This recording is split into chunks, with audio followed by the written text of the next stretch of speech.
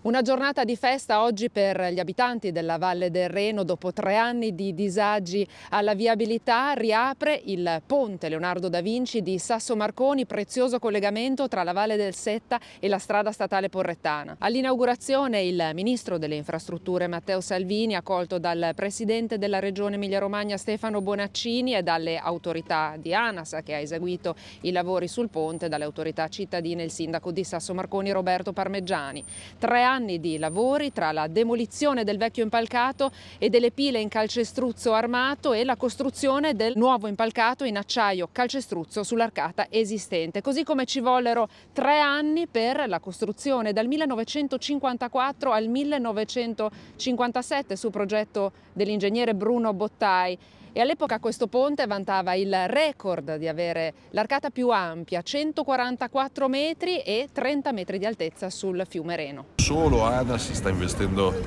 più di 3 miliardi di euro solo in Emilia Romagna, quindi fra strade, autostrade e ferrovie conto di portare in dote lavoro e stipendi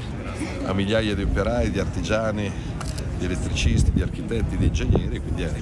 è una bellissima giornata prenatalizia. Era attesa, era necessaria, il fatto di averla realizzata e inaugurata in tempi addirittura più brevi rispetto al previsto va a merito delle lavoratrici, dei lavoratori, delle imprese,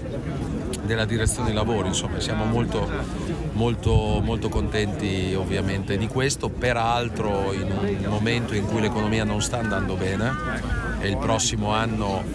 le stime di crescita sono state pressoché dimezzate con il rischio della stagnazione, abbiamo bisogno di investire, di garantire lavoro, garantire alle imprese di poter lavorare e soprattutto perché questo garantisce a questa terra e a questa regione un di più di crescita di cui abbiamo necessità perché ne ha bisogno il Paese. Abbiamo smontato l'impalcato che era degradato, non era più recuperabile e abbiamo realizzato una sovrastruttura in acciaio e calcestruzzo che è quella sulla quale stiamo in questo momento, quindi un ponte che in questo modo qui è completamente rinnovato, abbiamo allungato la vita, l'abbiamo reso più bello e più sicuro. È davvero il successo del lavoro delle istituzioni che quando riescono a collaborare insieme e a mettere, avere come obiettivo il bene comune riescono a realizzare grandi opere, quindi grazie veramente a tutti quelli che hanno fatto parte di questa grande sfida.